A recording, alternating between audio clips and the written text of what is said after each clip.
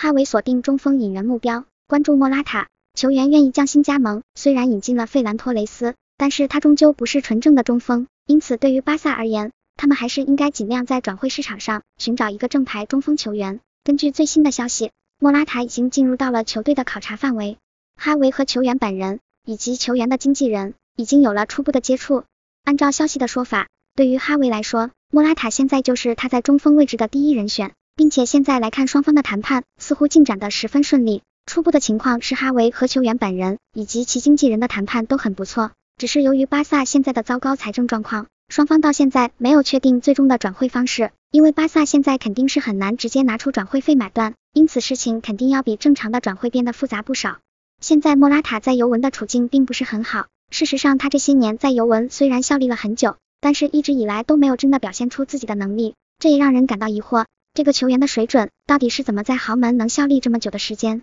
莫拉塔现在坦诚自己在意大利的情况不佳，而哈维则是第一个真正打来电话了解其实际情况的教练，并且哈维也明确对表示，现在巴萨买他绝对不是简单的过渡，也不是所谓的短期作用，而是涉及到一个长期的布局和计划。也就是说，莫拉塔的效力时间也不只是加尼丹的六个月租借，未来可能的话，莫拉塔将会在这里长期效力下去，这才是巴萨的计划。莫拉塔这个球员虽然深受其他球队的质疑，但是在不少西班牙教练的心目中，他却是优秀前锋的代表人物。哈维认为，二十九岁的莫拉塔是当今世界上最好的进攻球员之一。此外，哈维认为这个球员的全面性也是值得重视和称赞的。这一点的看法其实和当初恩里克的想法很相同。在欧洲杯的时候，虽然莫拉塔遭到了西班牙方面的全方位批评和指责，但是恩里克就是坚持使用他，并且也确实得到了不错的效果。也许在哈维和恩里克这些西班牙教练看来，莫拉塔这样的球员的确是有其个人的独到之处的。